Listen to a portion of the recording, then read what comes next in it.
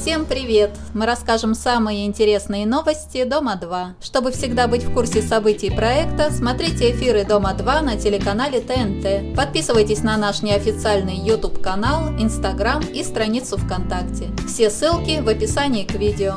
Над Ильей Коротковым состоится суд. Его новая девушка Ирина Павлова обвиняет Илью в нерешительности и в метаниях между женщинами.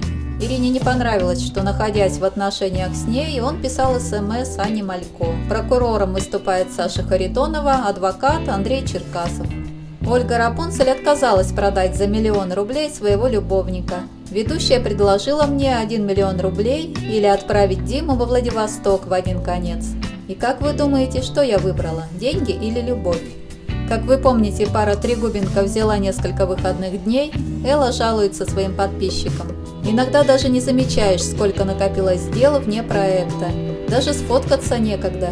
Мы с Евой делаем дела, а по вечерам встречаемся с друзьями. В семье Жемчуговых произошел очередной конфликт. Глеб отказывается работать вместе с женой, которая является его директором. Он прекрасно обходится и без ее помощи. Он может позволить себе на работе быть свободным мужчиной, флиртовать и улыбаться другим девушкам. Присутствие же Ольги все портит. Муж запрещает Ольге лезть в рабочие моменты. А если жена решит приехать и втихаря понаблюдать за ним, то слежку ей Жемчугов никогда не простит. А теперь о событиях на Сейшелах. Закончено первое голосование в ТНТ Club на служанку острова. Ею стала Рита Керн. Вы можете видеть результаты голосования.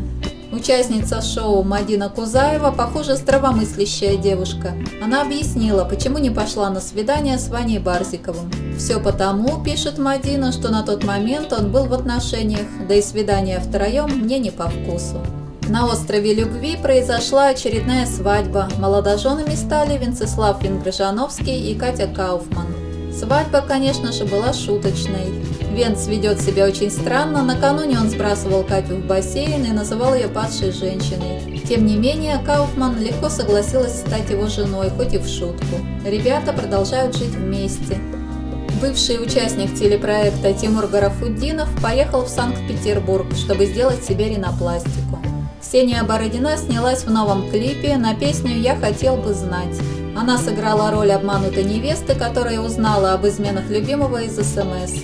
Снималась в этом клипе Ксюша еще до примирения с мужем. Многим показалось странным ее решение надеть на съемки свадебное платье, в котором она вышла замуж за Курбана Амарова. Это выглядело как издевка или даже месть супругу. Теперь Ксения помирилась с Курбаном, а клип вот только появился в сети. Зрители раскритиковали Ксюшу. Вот некоторые комментарии. Борода угловатая, неплавная и абсолютно не женственная. Ее снимали с неудачных ракурсов. Очень заметно, что невеста уже не первой свежести. Борода так страшно накрашена, и среди красоток она смотрится как-то не очень. Даша Пынцарь старается развивать своих сыновей. Она рассказала подписчикам, чем занимается ее пятилетний сын Артем.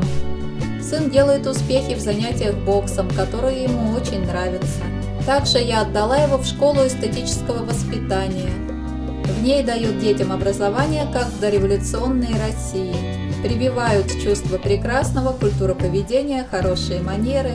Сейчас, например, учеников готовят к участию в престижном модном показе. На этом все. Спасибо, что были с нами. Ставьте лайки, комментируйте, подписывайтесь на наш канал на YouTube, Instagram и страницу ВКонтакте. Ссылки ищите в описании к видео. И не забывайте смотреть эфиры Дома 2 на телеканале ТНТ.